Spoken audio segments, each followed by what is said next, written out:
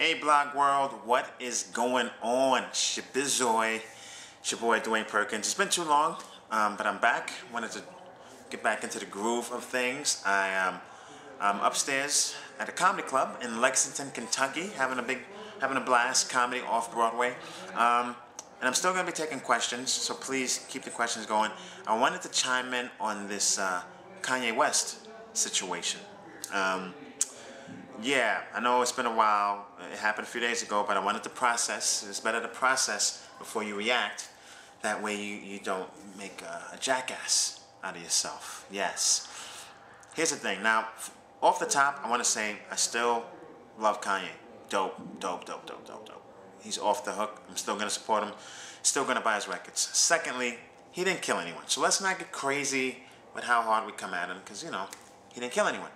What I don't get is how a guy as smart as Kanye gets caught up in awards. Like, how does he not understand that these awards awards are, um, you know, they're, they're arbitrary. I mean, it's made up. You know, I would I would like an MTV Music Award, but you know what I, I would rather have? Four platinum albums. There you go. I, I, I just don't get the concept that he. So I want to illustrate. I want to illustrate this concept to Kanye. Um, okay, here we have. Uh, you see this here? Now this looks like a regular cup of noodles. That's what it appears to be, but it's not. This is um, an award. This is a this is a Waney. I named it after me. It's a Waney. It's not a, not a cup of noodles. A Waney.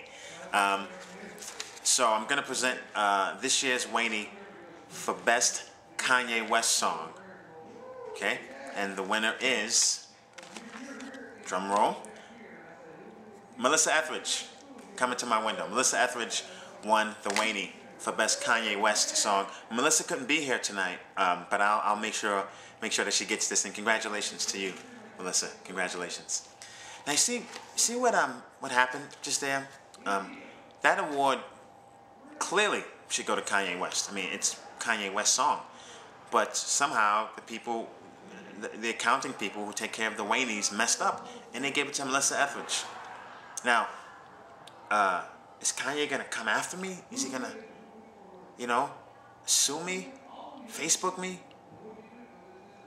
No, probably not. Probably not. I say probably, you never know. Because I made it up.